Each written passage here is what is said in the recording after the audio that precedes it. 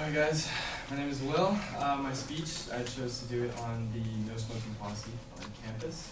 Uh, I'm going to start off with a brief introduction on tobacco and the policies enforced on our campus. Um, going to you a little bit more knowledge on nicotine, the dangers of secondhand smoke, um, this outdoor secondhand smoking study in Georgia, and uh, my proposition that I am proposing, and then I'll finish up the conclusion. So uh, I guess you could say my major claim is that um, this no uh, no smoke policy on campus, I believe that it um, effectively like hinders the education of our smokers. So I'll get to that later. So. Let's see. So, as you guys may or may not know, tobacco um, it was here way before colonization. The Indians grew it. They used it for medicinals. Um, they used it to smoke. I don't know if you guys remember the peace pipe. Even past that, um, the Europeans brought it over to the Americas, and then even uh, during colonization and expansion, tobacco was a big cash crop. You guys probably know what that is. It was called a brown gold. All right, and it I believe it was one of the one of the crops that actually developed our country because it was the backbone behind um, pretty much industrialization. I'm to say that. So, um, uh, the majority of schools, especially in Southern California, are uh, enforcing this non-smoking policy. Um, uh, as you guys know, California, the California, sorry, Fullerton College has enforced um, recently the non-smoking policy, and Uh, I believe the policy goes something like this. I didn't, I didn't write down the entire thing, but it was uh, uh, California State University Fullerton is committed to a healthy and productive environment and prohibits smoking. And I'll just stop right there. So, let's see. Um, students who have back-to-back -back classes have 10 minutes to get in between classes. And so, as you may know, um, that's not a lot of time because you still have to get to class on time. And so for smokers, who perhaps want to take a little smoking break in between classes. It means they only have 10 minutes to go completely off campus and come back just in time for their class. Um, say they don't have back-to-back -back classes, they may have enough time to walk a few blocks or drive off campus, but um, let me see, how can I say this? I'd like to say it is rather inconvenient. How many of you guys drive to the school? How many you guys use the parking structures? And how, how inconvenient are the parking structures? especially finding parking. It's pretty bad, huh? So would you guys drive off campus to go somewhere, maybe grab something to eat, and then come back trying to find a parking spots just before class? It's pretty inconvenient. Yeah, some of you guys, some of you guys, but for the majority, it'd be a little inconvenient. So, which leads smokers to either A, smoke illegally on campus, alleys, behind uh, behind buildings and real sketchy spots, or two, they have to suffer withdrawals throughout the day. So, um, let's see. Uh, I think Fullerton's a wonderful college. I think it's very convenient. I think it's very affordable. I think that the people here are nice. I think the campus is beautiful. But, however, um, on their website, they say that uh, Fullerton's goals are to uh, promote human success and strengthen community connections. So, uh, let's see. Uh, going on to nicotine. Nicotine is the uh, product found in tobacco that um, is the additive for smoking. Um, let's see. Nicotine actually mimics a brain chemical called acetylcholine. Acetylcholine, which secretes the hormone, hormones for dopamine. You guys know what dopamine is? Dopamine is the hormone that you secrete when you're feeling happy or you're feeling rewarded or nostalgia. Okay? So, um, the problem with this is that, as I said before, it is an additive, and this can lead to addiction. And when, uh, when it comes to an addiction, withdrawals, um, not taking like a, uh, uh, a certain amount of it uh, in, a, in a time period, you suffer um, irritability, sleep disruption, uh, increased appetite, craving, um, nausea, uh, and a lot of times, especially in the workplace, but also through schools, smokers um, tend to have cigarettes because of anxiety or stress in classrooms. Like they want to take one after class, or they want to take one after they just finished the paper, or say they're not feeling comfortable about their homework. Right? Um, and of course, um, I don't think any businesses condone smoking indoors. Yeah, I think we all can agree on that. I mean, it's a controlled, it's a very small setting, there's no circulation, and you just travel with a settle kind of crop dust across the room. So. um, I do agree that the Fullerton College can uh, enforce the smoke-free policy with the best intentions, and that secondhand smoke is no myth. Okay, it is true. I'm not. I'm not saying that it's, it's a lie. I'm not saying you're not going to get hurt from it. Um, and I believe uh, the statistics were 60% of students are not smokers, and in fact, only approximately 10% are smokers. So of course, it's going to be unfair to the majority to. Um, it would be unfair to the majority for them to contract diseases based on uh, life choices that they do not commit to.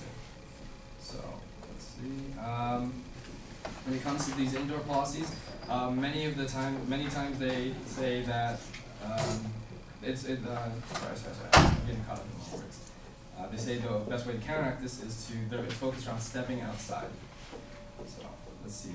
However, more recently, um, um, institutions have been moving uh, these bans toward the final frontier and sanctuary for these smokers, which are the outdoors. If you see the no smoking policy outside. So, um, let me see.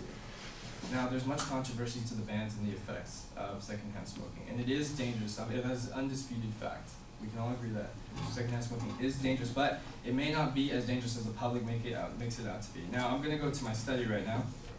Um, Georgia University um, in November, they published this in the Journal of Occupational and Environmental Hygiene. They did the study where they took 23 people who were non-smokers and they put them in, in a controlled environment for six hours at a time. Bars, open areas, um, uh, uh, open areas of campuses, uh, outdoor restaurants, outdoor settings. Okay, and they would measure measure the cotinine in their mouths. Now the cotinine is a uh, product that is produced by the uh, cigarette when you exhale. Um, and the thing was, uh, they actually chose specifically days for big events, like a football game or a rally, just so there'd be a lot of people that uh, would, I guess, for lack of a better word, induce, you know, cigarette smoking.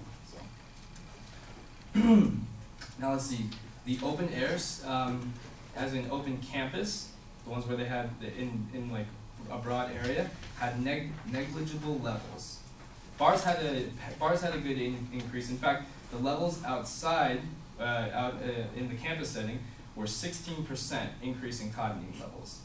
Now, um, even though that was only 16%, the ones in bars and the ones in restaurants were up like 162%. However, that the National Health and Nutrition Nutritional um, Nutritional uh, Survey said that these are considered background levels. Background levels. Background levels meaning that it is within a somewhat reasonable distance from smokers to not contract as much uh, secondhand smoking as you possibly can. So, once again, I'm saying that you cannot deny the fact that secondhand smoking kills. It still is in effect, it's still a dangerous uh, process um, that's happening all around the, all around, uh, all around the world. Um, but I'm not saying that we should lift the ban, but rather we should come to an agreement. Background, background levels are beyond 6.5 feet or 2 meters from smokers. Um, so I say that if we have specialized gazebos or pavilions set away from uh, areas of campus that uh, have large, a lot of human traffic, like in between whatever that place is with the library, or even like an alley, at least 30, 20 feet away, I believe that that is a reasonable distance away from the majority of students that are passing by. And it is well beyond the background levels of second-hand So, um, my conclusion is if Fullerton continues to promote student success and strengthen connections with the community, um, I believe that they have to attend the needs to all their students and not just the majority and then leave the smokers to kind of suffer and or be very inconvenient um, to go off campus. Um, see. I believe that's it, yeah, that's about it.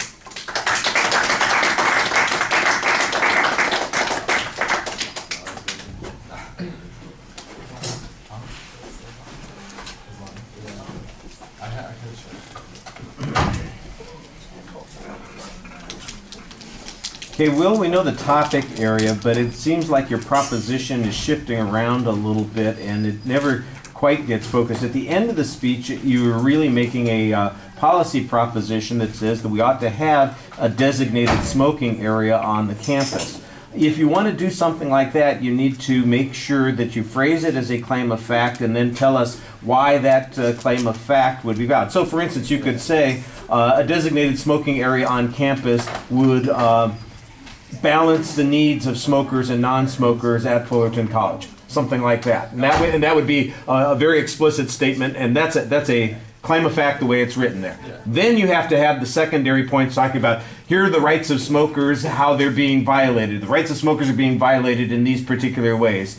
Here's the reason why non-smokers have to be protected. You know that sort of thing. But this type of protection is unnecessary in order to protect the non-smokers. Therefore, you know, an alternative would work effectively. That's the kind of structure that you need to have. You're kind of meandering around on the subject. Uh, You've you've got ideas here, and I think you've got interesting points to make. So much of it, though, is dependent on hypothetical examples. You don't have the testimony of any of the smokers that have been inconvenienced. You're making an inference from what the percentage of the population of smokers are.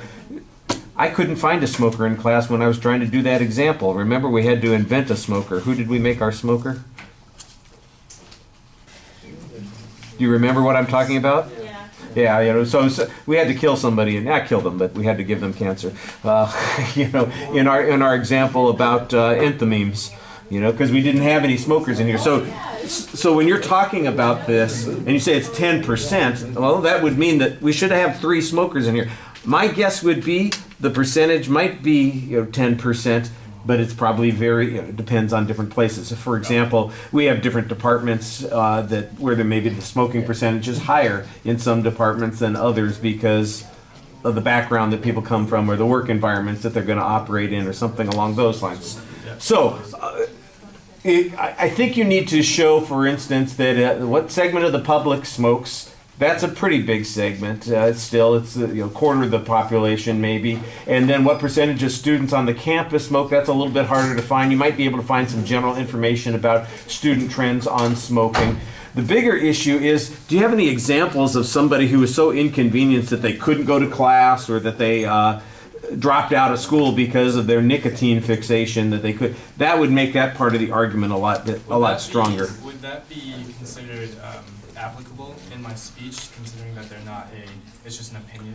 well I, it's an example It would be. an so yeah I- and it has to be a, uh, I, you can't randomly ask people on the street that's what i'm not but for instance if there's somebody who's written about this and we've got an example of somebody who said I, you know you know, I dropped out because it was just too hard for me to find classes and be able to continue smoking. Yeah. I mean, that's that's So an illustration of that point. I don't know that we'd ever find any statistics on it, but you probably could find an example. Again, like I said, this would be one of those things that's hard to do because you're you're so dependent on hypothetical examples. This imagined student who doesn't have enough time to go off campus to smoke a cigarette, and I'm just thinking, put your classes two hours apart instead of having them back to back or an hour apart or you know whatever the schedule does uh, get some nicotine gum. You know I don't I, I don't know why it's that big a deal that somebody goes without a cigarette for two hours but it's going to cause them to drop out of school or show up late or have some negative effect which is kind of the claim that you're making.